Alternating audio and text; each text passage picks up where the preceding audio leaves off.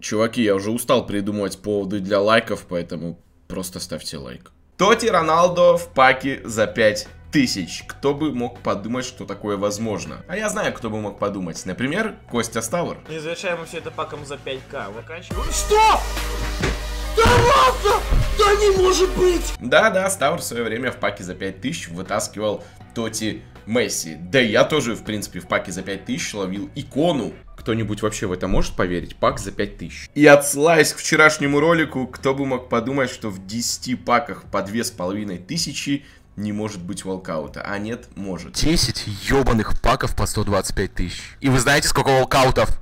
Ноль, блядь. Ну, если вы помните, вчера мне в паке за 5000 также упал Александро. Пак за 5000, блядь. Чё, блядь? Теперь сравните. Пак за 5000 Александро и 10 паков по 2500 0 волкаутов. Да и в целом, при желании, вы можете найти подборку топовых игроков в паках по 5000 и просто охереть. То есть, к чему я это все веду? Вы знаете, что я немножко так с приветом, сумасшедший, там люблю в 10 дивизион наливать, только серебряные паки открывать. Так вот, сегодняшний выпуск я решил посвятить паком только по 5000 FIFA поинтов. Я не знаю, все ли я делаю правильно в своей жизни, но сегодня у нас не будет ни промо-паков, ни паков по 350, ни паков по 150, а только паки по 100 FIFA поинтов. Да, возможно, я попаду не в то время, не в тот час. Дело рандома это такое. Так что, ребята, я вас попрошу поставить лайк на удачу и не повторяйте мои эксперименты. Первый пак за 100 FIFA поинтов, и тут уже падает рарный игрок. То есть намек хороший. Ребята, я тут посчитал то, что по итогу я открою 120 паков по 100 FIFA поинтов. Я, естественно, не буду вам показывать каждый пак, потому что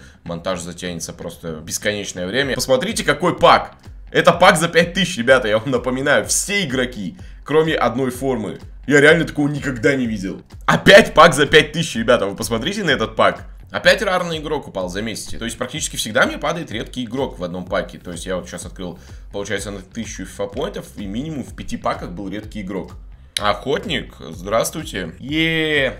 Пеле в паке за 5000. Хорошее название для ролика, ребята. Мне кажется, этот видос можно отнести к более познавательному контенту, нежели развлекательному. Мне реально было всегда интересно, что будет, если сдонатить 12 тысяч фапоинтов и открывать только паки по 5000. Но на ютубе я не нашел ни одного такого видоса, потому что, ну, смельчаков, которые потратят 12 тысяч фапоинтов только исключительно на паки по 5 тысяч, конечно, таких э, сумасшедших маловато. Хотя после 12 тысяч фапоинтов только на серебро, меня уже вряд ли можно чем-то напугать. Опа, ребята, первые щиточки подъехали, Сократис. А вы теперь вспомните то, что в паках по 2500 мне бывало падал игрок с рейтингом 82. 83 рейтинг, ребята, Начо Фернандес, который, кстати, стоит денег сейчас.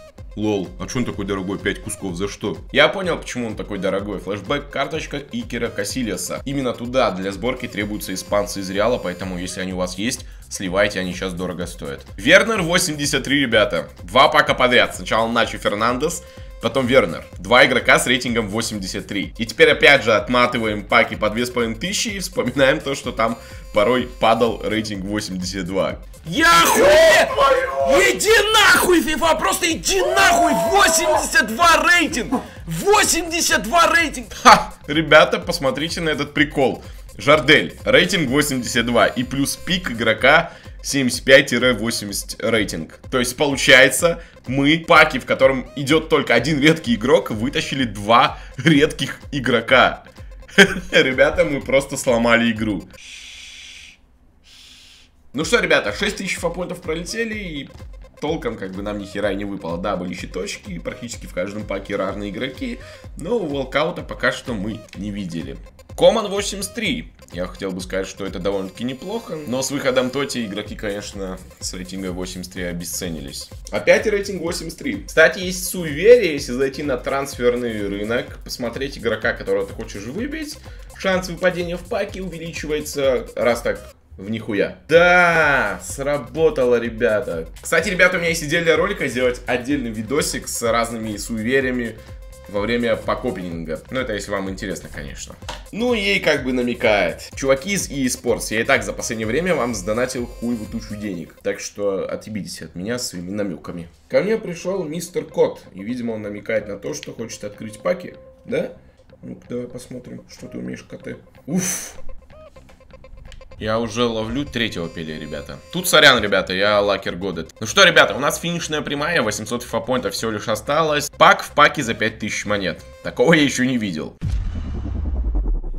Ну, в общем-то, ребята, закончились у нас фапоинты, потратили мы 12 тысяч, я напоминаю, и нам не упало ни одного волкаута. Как мне кажется, эти паки работают по методу охуительного рандома.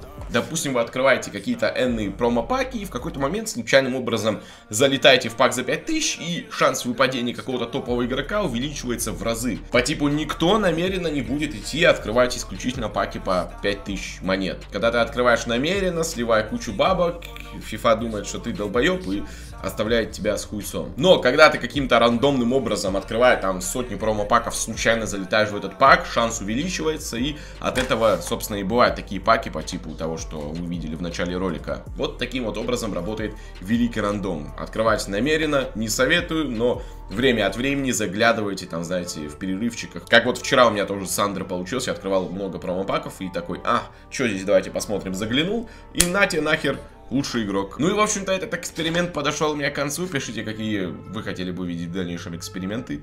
Возможно, я к вам прислушаюсь и запишу ролик. С вами был я, профессор Панда. Спасибо, что смотрите меня и всем хорошего настроения. Пока.